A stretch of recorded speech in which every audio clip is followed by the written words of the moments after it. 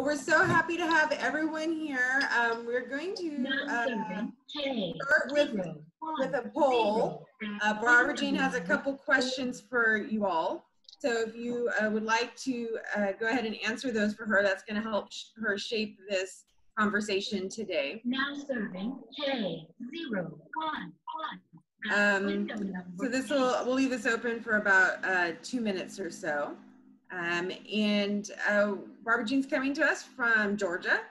And uh, she had an entire presentation ready for us. And then yesterday it all kind of got re-scrambled with, with the new, with the new uh, guidelines. So uh, we it is a moving target and i think that is the theme of today's presentation and welcome to all the brand new faces uh, that are on the on the call today so we'll keep the poll open for about another 30 seconds lea uh, uh, dean dopson would you like to do a say hello to everyone?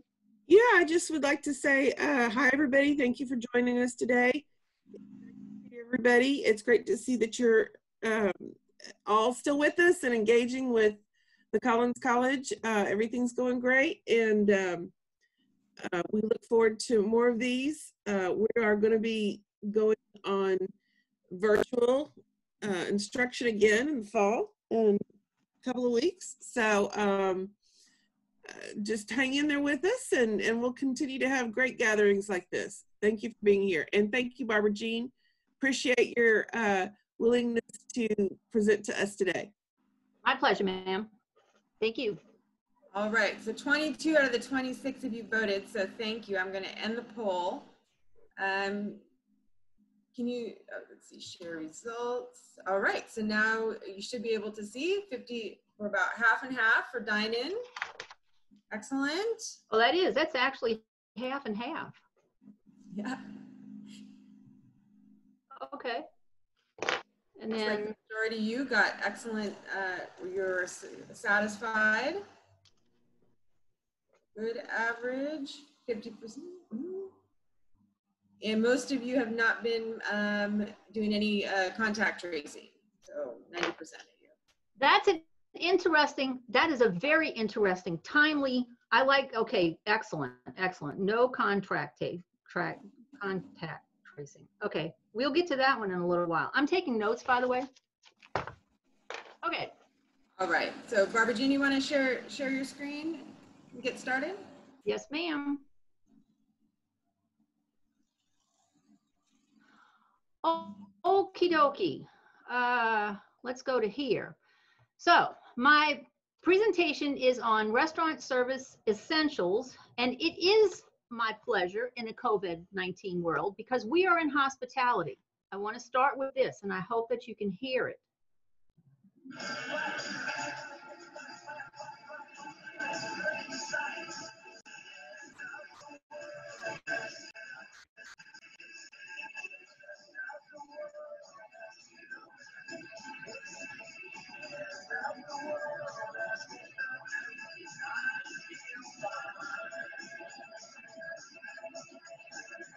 Okay, did y'all hear that? Okay, make it go away. Um, I hope that you heard what song that was. Did anybody hear what song that was? That was It's the End of the World as We Know It, because our world did end. And I'm going to come back. Um, oh, am I on? Should I be on mute? I'm, I'm, I'm echoing. Okay, I'm not echoing now. Um, so if we go back to Friday the 13th, and this is just a real snapshot, ironic that it was Friday the 13th, is that we were doing fine. The hospitality industry was just booming, keep on going, everything was fine. And then things shut down and literally shut down. Um, and so I, I don't know how many of you have watched Data Essentials from the National Restaurant Association or binge watching all of the, the uh, information and such like that. And this was long before I knew I was going to do this, but it was just so fascinating to see what was happening with our industry. And for this one specifically, uh, was that when you looked at how do you feel, and these these are polls in March, right? So this was uh, March the 25th through June the 8th. How do you, uh, when do you feel it'll be safe to go out to eat at a restaurant again? On March the 25th, there were 10% that said yes. On June the 28th, uh, June the 8th, it was only 23, which is why it correlated with that poll to find out, okay, well, this is what it said then. What did y'all say, right? Now it's half and half.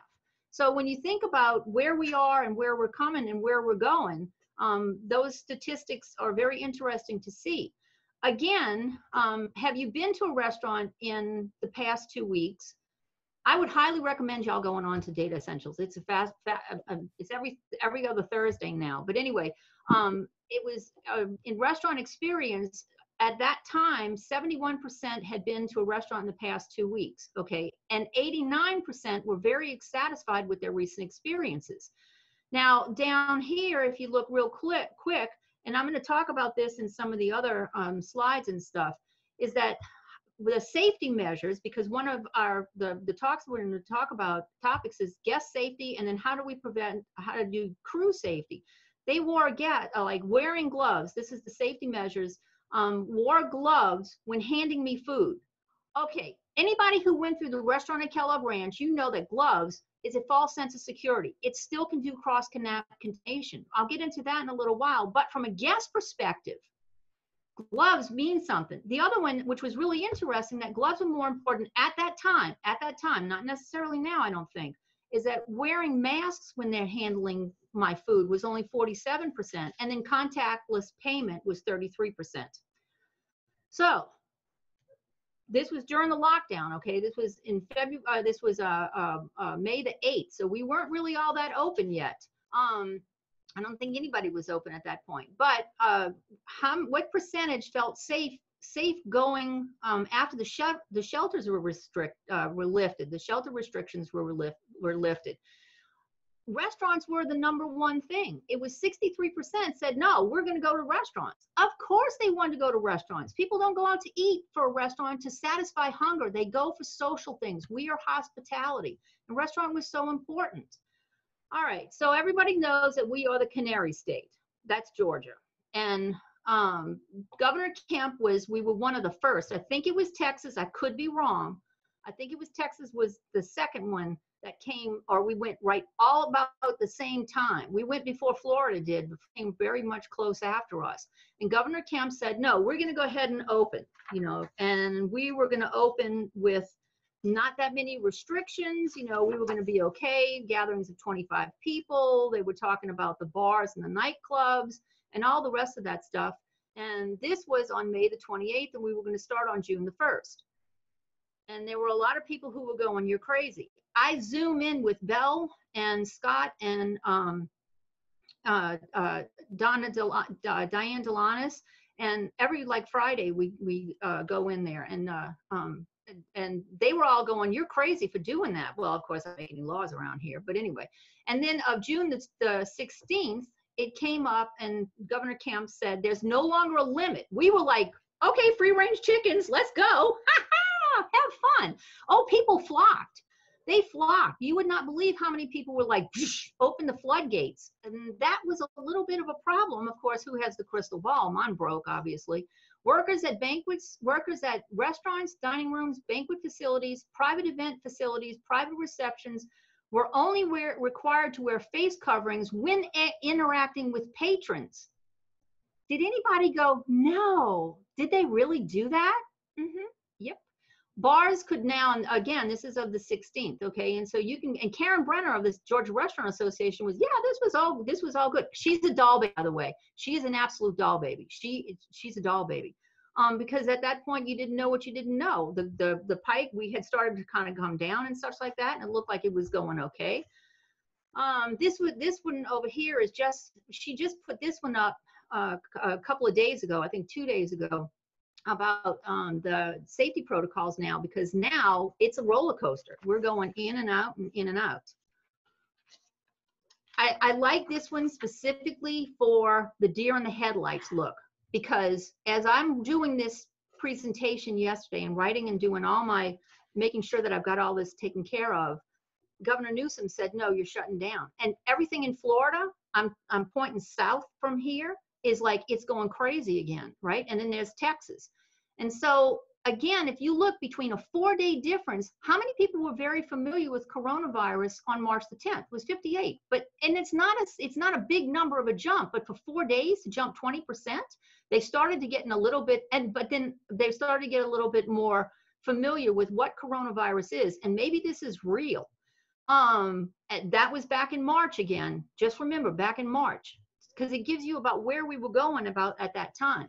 Um, very concerned. How many people were very concerned? Ah, on March the 10th, it was like, well, I'm not really sure about that. And then March the 14th, it would be very interesting. I contacted Jack Lee over at Data Essentials, and I said, "You going to do an update on this?" And he said, "Yeah, probably soon."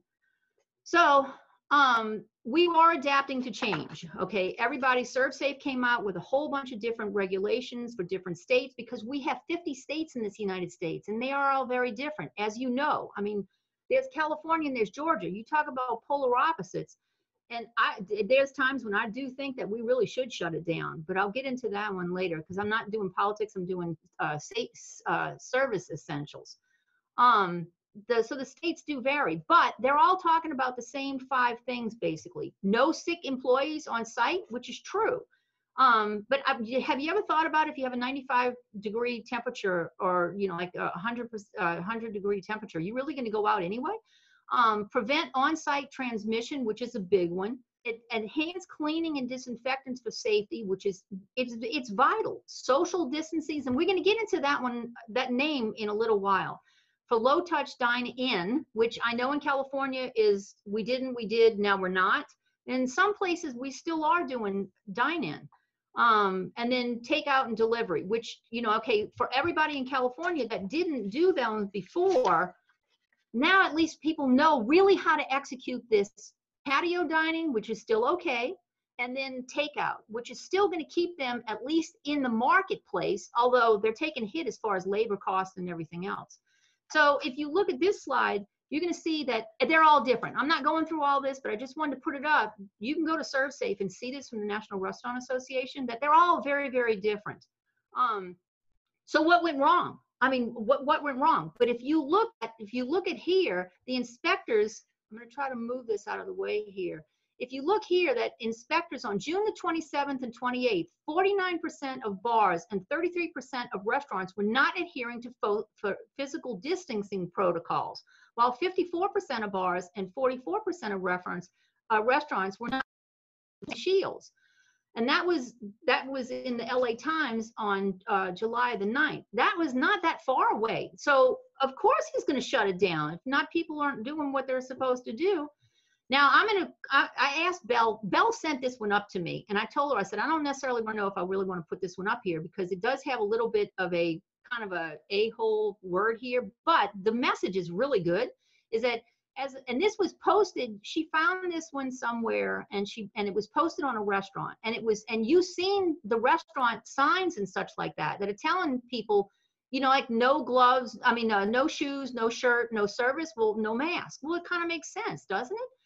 Um, just like it, uh, it, as in a right as an american you have a right not to wear a mask but just like you businesses have a right not to let you in. Screaming at employees and businesses for protecting their workers and customers does not make you a patriot. It makes a not nice person. Okay i'm just going to say that. Then yesterday governor newsom came out and said squash we're not doing this. All right well fine. Then that's just then it is what it is okay so um, the next slide is that we, LA County and Orange County, we're at wars with each other. LA County said, okay, no, we're going to go really, really, really, we got to stop this. And Orange County is like, mm we're going to go for it, right? It's happening over here. Mayor Bottoms just said, no, we're not. We're going to cut it down. And Governor Kemp, they're at big wars right now because Governor Kemp says you can't enforce that and you know atlanta is um, they've got a lot of restaurants in atlanta. And so you know what do we do? All of this has to do with guests experience. This has to do with service essentials because if we're not there how do we as how do you who are in the industry how do you give great service when you still have all of this stuff going on? How do you run a restaurant? So I think, uh, and we're still going to do the breakout rooms, right? And at this point in time, I am uh, seven minutes over my time, but that's not too bad. Um, the breakout rooms, we're going to go 15 minutes to discuss the, the, these three topics because we want to. I want to see from your perspective, what do you think about this? It's not me sharing information because this information is not new. I'm not adding to the body of knowledge. I'm not in the industry. I'm not in California. All I am is here in in South Metro Georgia. It's not. It's you know like if you were in San Clemente. I'd like to be in San Clemente right now. Um, but anyway, uh, so uh, Anne, you want to take it away? Yes, so I'm typing those three topics into the chat. Anne, did I unmute you? Hopefully I'm not muted. Can, yeah. So I'm typing the three topics in, there you are. Um, well, I was typing the three topics. So what are the three topics for averaging guest safety, protecting you and your team while providing an excellent service, and what else? And darling, I can't hear you. Can you hear me now? Mm. No. Okay, well, we'll go to breakout rooms. Oh, thank you, Casey. Only you can't hear me, Barbara Jean. um, eh, okay, oh, perfect. Um, I would put two, uh, two of the three topics in, because I don't know what the third one was, um, into the chat. And then I will do breakout rooms of, No, I can hear you. It's called turn my thing back on. Don't- oh, very nice. Okay. Um, I'm going to do um, four to five people per room. And uh, we will send uh, you to breakout rooms to discuss those topics. So Barbara Jean, what were the three topics? Guest safety, protecting you and your team, and what was the third one? Yeah, let me get back to that. You want me to go back to screen share? Uh, here.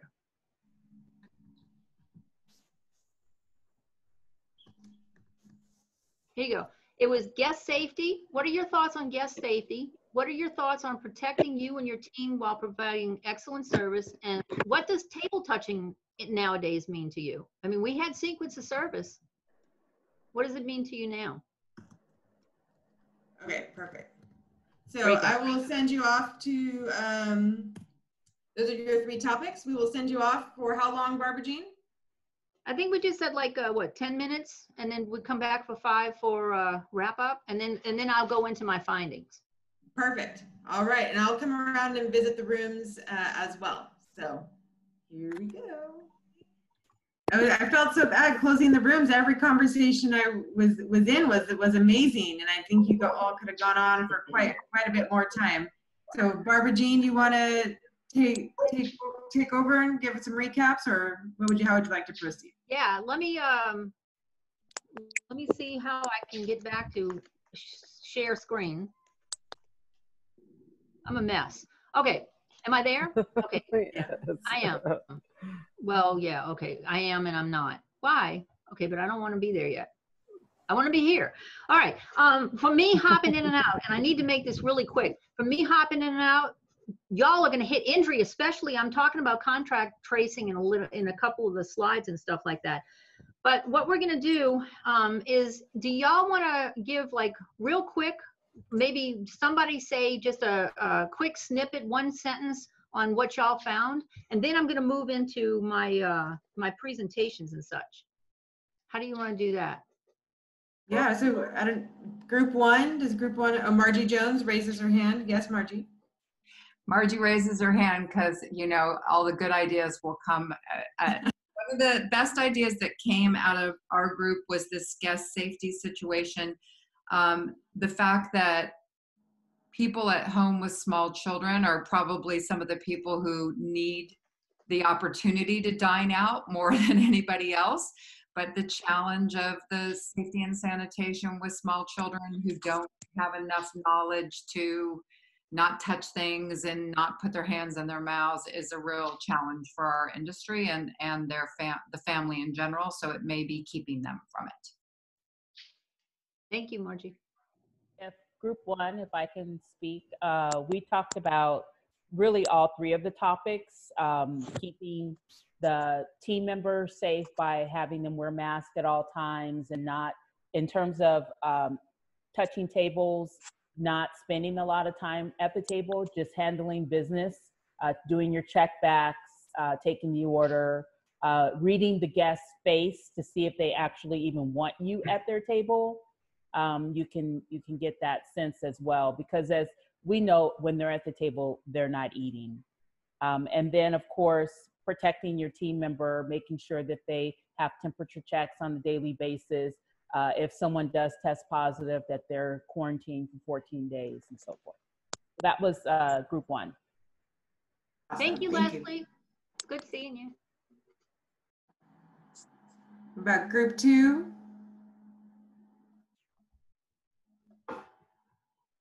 Any other groups want to share out? You all had amazing conversations.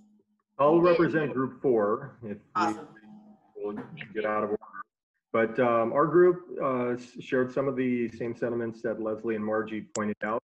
Um, We have experienced, or we, you know, in our visits, we experienced deterioration in service where, you know, the server doesn't seem to be coming over, uh, doesn't seem to be engaged in uh, providing service. There isn't, um, you know, the happy server coming to your table anymore, except for the quick service industry. We we felt that, you know, in uh, fast food restaurants, there was a little bit more happiness uh, in terms of service. But uh, how much happiness can there be when you're delivering a paper menu and to a bunch of people that are afraid of eating in that restaurant, right? So um, really, the main theme that came out from our meeting was aren't comfortable serving because there's a little bit of an unknown factor that am I serving someone who is infected himself? Should I? And that concern also um, goes over to management that is if I raise my hand and say I'm a little under the weather today, uh, and enough, and I call off work uh, too many times, am I going to lose my job? So, from many different perspectives, there's a little bit of uncertainty still out there, and it's affecting service to a, uh, a negative degree. Thank you. Maybe one more, one more, last update from one more group? Um, we have a, um, we, we talked about, um, visual signs everywhere, no condiments on the table, um, follow certain paths of entry and exit of the facilities or even the bathrooms. Um, using QR codes for, um, menu reading on the guests' phones instead of using physical menus. Um, checking temperatures as uh, guests entering facilities um, and then you know uh, maybe enforcing um, um, contact tracing to to ensure guest and employee safety. And then for the team members is getting tested, um, uh, having contact tracing and wearing masks at all times, um, and getting temperature checked on a daily basis as well. And one of the, the things that um, were also discussed is that um, in order to safely dine, um, uh, whether outdoors or indoors, um, masks on the for the guests are, should, should still be worn when they are not eating because uh, you know the, we would go out as a social um, uh, activity and and then when you're not eating you're speaking with each other um, at the table even um, uh, uh, within the same table um, there if, if somebody has a um, asymptomatic then they cannot um, tell they if they're carrying the virus or not. So they should be wearing masks in between their courses. And then for smaller spacing facilities um, there were like plastic barriers um, in between tables if you're not able to um, keep the tables um, at least six feet apart so those were the items that we talked about Thank you so much. Barbara Jean, you want to continue? Y'all are right. Y'all are serious. Thank you, Ann. Thank you, uh, panel. Uh, the breakout rooms were absolutely, y'all are so spot on. Um, I, one of the things that we had, one of the things that I think some of you had discussed or in, um, in some of the readings that I had done was to get your word out there as soon as possible. Linda Cagle actually got an opportunity to do um, a PSA from uh, Linda could tell you uh, it was a, a, a TV kind of spot that gave them an opportunity to go out and say that we're open, this is where we are. And it may have been in the Cucamonga area and such. Um, but it starts with your website. It starts with getting the education out to the guests. And I'm not going to go through all of it. Whisper House just came up with this yesterday. This is from uh, um, Ryan Dudley over at the Cellar. And this was at the White House um, from, uh, and it's a video on the White House in Anaheim. And that, y'all should go and try to find that one because it's a whole video on some of the protocols that he has and such like that. Um, Mark Argotten sent me this, and their website, they have an entire playbook. I mean, of what they do to keep the guests and the crew safe. And so it's the messages to the messages to the guests and such like that. It starts, and then um, Jacob's got with the uh, Medicino and such like that. And so it starts with it starts with getting the message out from the um, from the guests from the websites and stuff like that. Some of the guest protocols, which you had talked about, was again they talked about uh, providing employees with gloves from a guest perspective, that means that there's safety. But unless those gloves are getting taken off when after they're used and then put in a trash can, not in a parking lot, then if uh, poll that are you you know when will you be uh, will you dine at some place with a mask with the servers have masks? And if they don't have masks would you still dine with them? And the answer is resoundingly no um, okay, the majority. There are still those who don't. Uh, when you talk about, um, and then when I go back to that other one, I'll talk, I, I, I missed this one, and Jason Daneros is on there. When you talk about uh, safety protocols and stuff like that, there's lawsuits now that are coming out because if you get sick from an employee, if you're a co-employee and you get sick from that, Jason, what's what what's going to go off in that area and stuff like that? Because there's a lot of litigation that's coming from this. You've got guest safety protocol, which was one of my three points, is that training of the crew is number one. You've got to have communication versus execution. You've got to have that communication to where they understand what it is. We want to be in hospitality, that's true, but we have to provide that safety and the execution of what that is. And somebody was talking about, and I, I think y'all can see this. I hope that, and they can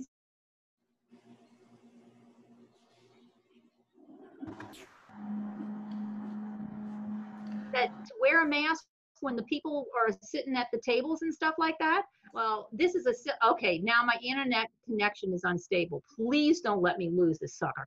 Um. Anyway, so then they were talking about some of the other safety guest protocols. Is that they one uh, company in Washington? You talk about how much money you spent in PPEs. They did like a, a TSA scan, so that way you didn't have to have this gun pointed at your head to take your temperature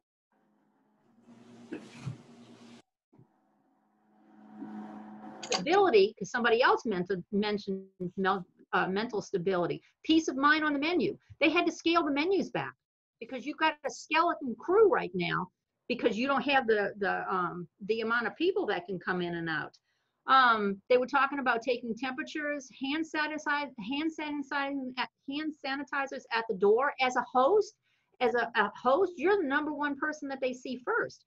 And so some of them actually had antibacterial antibacterial mats um, to where when you walk in, at least your shoes are, are in sanitized. And um, Leo Yen over in Hong Kong said that they had gone back.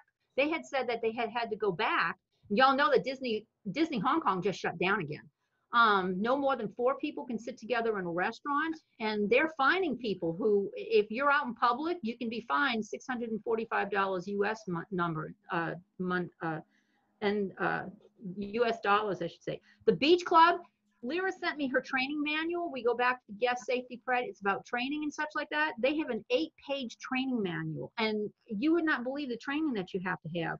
Um, uh, you have to follow all the CDC guidelines and the state policies. And this one to where somebody, a guest, had seen a fire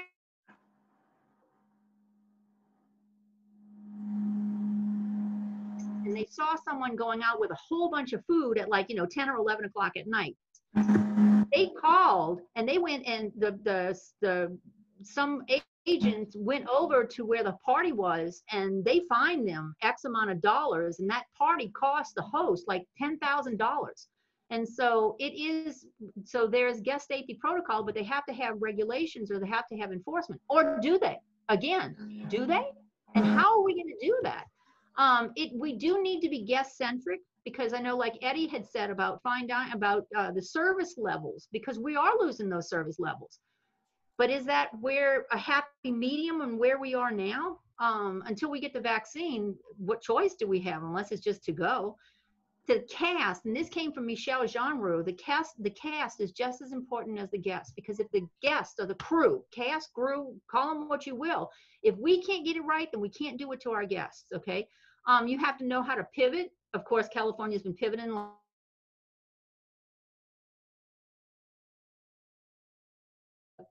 Leslie, you may remember when um, Ariel uh, uh, came up with the QR codes in RKR, and we were like, "What is this? How would how would she know to have done this?" And look at where we are now with the QR QR codes, yeah. reservations, seatings, and flowing uh, flows. In some places, they actually have um, they actually have these little buttons now it, it, was in Japan, but then there was another place that I had read just recently that, like Eddie, I think it was one of y'all had talked about the buttons to like, hello, I need some service here. But a few minutes and stuff like that. Um, uh, I talked to Steve. This is a global contribution uh, uh, presentation They have a sanitizing expert in Saudi Arabia that only does sanitizing. Okay, that's all he does, or he, she. So on you know, like I had to bring Florida into this because it's not us, just us that are crazy. Um, although Florida now has woken up because they've got beautiful beaches over there. Um, they do. Do you feel comfortable eating or dining at a, a place if the servers or the bartenders don't have masks? okay, 48% said yes, and 52% said no. And I bet you now it might be a little bit, uh, that was like three weeks ago. What is it now? Okay. And so mask requirements on states, it's not just, and it's a hard thing for us to be able to, um, that was one of the things that I had done in my research is that there's a lot of hard things for the operators to be now become police. I mean, you have to, you know, you've seen it on TV where you've had to, you know, tell people, look, if you're going to get all, why do I have to wear a mask? And I think Brady Maine was telling me that they had a mask a mask requirement. Linda, I hope I get this right. Brady Maine was telling me they had a mask requirement in Cucamonga over at the cask. And a lady and a man came in. The man was wearing a mask. He gave Brady gave the um, or the host gave the lady the mask. The lady put it in her pocket. So what are you going to do? Tell them they can't come in? The answer to that is, you know, there's no pat. There's no one thing fits all kind of situation. Should it all be yes? you know, unless we're not going to get this virus done, maybe we should. Cleaning in, in view of guests. The guests, their psychological comfort level is when I actually see you clean that table, makes me feel good. It's called physical distancing, not social distancing. And I certainly do wish I could tell you who gave me that one because it is a big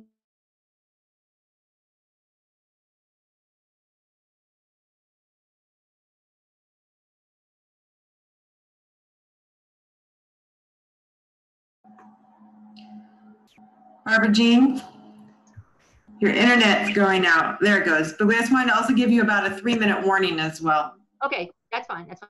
I, okay, so when you talk about there's the I know it's unstable. There's I, I I I deal with this. There's contract tracing and stuff like that. This came from Russ Bendel's.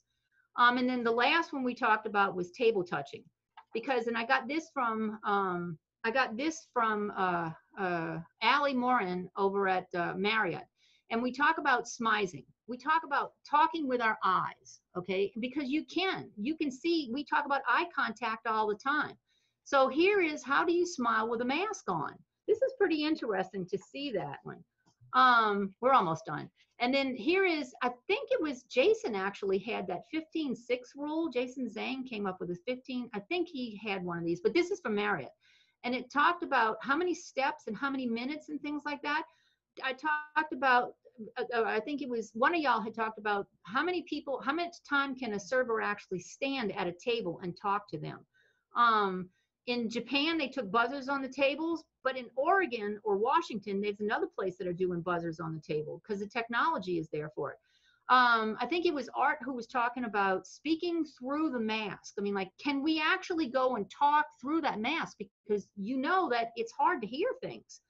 Um, a firm policy on what you can bring to the guest. Is it, you know, there's no more right side, left side. It's basically no more refills. And are the guests really comfortable with that? Because if they they aren't, they're going to look at that and they're going to go, "It's poor service." No, it's not. It's what we have to do now. Um, will people people will feel will make sacrifices and again this comes to the very kind of the end of the the slides here is that will people make our guests will they make sacrifices to dine in even if it extracts from the experience and 78% which were mostly boomers i guess you can see that 80% 87% of that 78% said that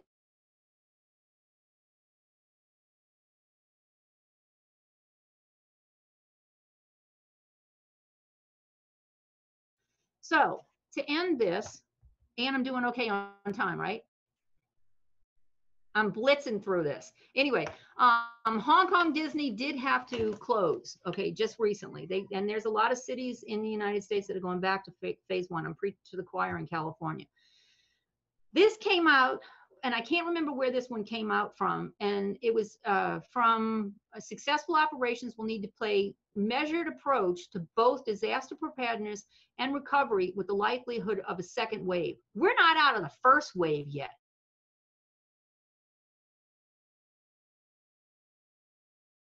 Second wave is going to hit the latter part of 2020. We already know that it's not doing anything as far as the heat's concerned. New Orleans had a heat record of 104. Did do you know what it's like to put your face in front of a boiling water with steam in it? That would be the city of New Orleans. And they've had to uh, shut down a whole bunch of stuff. Stop. That's a spoiler alert. Anyway, um, the last slides that I had was sanitation will remain a consideration beyond the pandemic, which is very, very, very true. And how can we be teamwork to talk about how are we going to be able to help with the efforts and the recovery and such like that. So on this, I'm going to end my uh, presentation with a, a thought. I hope you can hear this. I hope I can get it to go. Okay, now.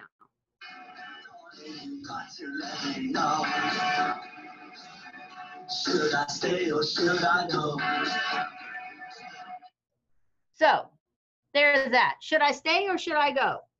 I want to conclude with uh, this is uh, a big thank you for my panel of experts, and every last one of them have helped me on this pro um, on this, not just us.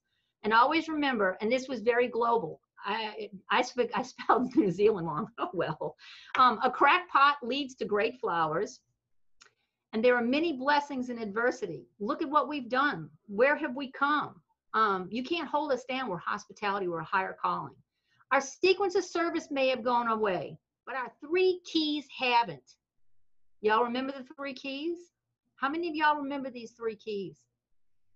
Exceed guest expectation, provide total support for your staff, and manage the business professionally. And on that note, Anne, and I thank you all for uh, putting up with me and, and doing all this. I hope you enjoyed it. Y'all all have my email. It's the same, bjbruin at, at cpp.edu. Thank God for lecture emeritus. And it's all you. I love y'all. Oh, no, wait, wait. I forgot. Wait. Everybody wear a mask. Even when you're pouring Horse Hill inaugural vintage, you must wear a mask, okay?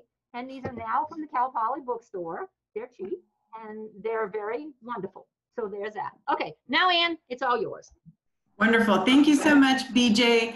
Um, we are open for questions. So um, if you have questions, you can either unmute yourself and ask, or you can ask them in the chat and I will read them um, out to you. I've also put BJ's email in the chat if you'd like to reach out to her as well. We have about maybe time for about two questions. Lots of thank yous. My pleasure. In a COVID world. I do have one question if it's okay. Yes. Absolutely. Okay, so I recently started working at a winery and we don't do temperature checks for guests or for uh, crew members. The only thing we're doing is just making sure that we as uh, the crew are wearing masks and I work in like it's like an outside pool and bar Um, and so a lot of our guests, like, they don't really have their mask on because they're in the pool or they're dining at our little restaurant. So, how can I kind of bring up to management, like, hey, maybe we should try and put in more like safety measures? But I'm only two days into the job, so I don't want to start like making big waves and being like that person. Allison, where I, I, would I would almost defer this to every one of my.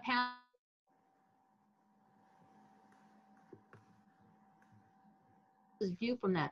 Um, there is a, uh, if, if I were you, I would go find out, I, my internet's not stable. Fantastic. Um, I hope that you can hear me. First off, I would go find what city you're in, what city you're in first. County can bring that up because at this point in time, if I had somebody that came up to me and you can actually put it as far as I'm concerned, and everybody tell me if I'm wrong, but if I had a guest, if I had a crew member that came up to me and said that, as long as you know how to phrase it, you know, don't put it that they're doing something wrong. Get your communication right. Eddie, you're a good one as far as communication is concerned. You would probably be able to phrase this really well. Is that how would you tell the guest? Um, I know, can you give me some advice? Because I have some guests here that aren't doing mandate, that aren't wearing masks, but our city says that we should, and I don't want to get fired, and I want to make sure that we stay open. So can you help me? Put it back on them as far as a health situation.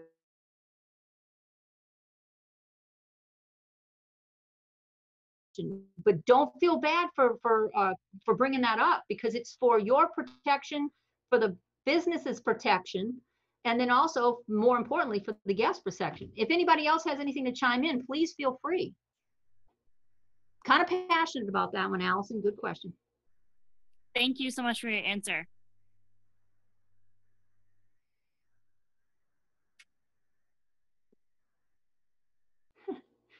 Anything else, Anne? I think I think that's about all the time we have to, for today. Um, thank you so much everyone for coming. We have in two weeks we will how to be an effective job seeker, and then uh, two weeks after that, uh, Eddie will do um, about interviewing. Uh, so um, we look forward to seeing all of you. It's the same link, same time every two weeks on Tuesday at 9 a.m. So you just use the same login information that you got today.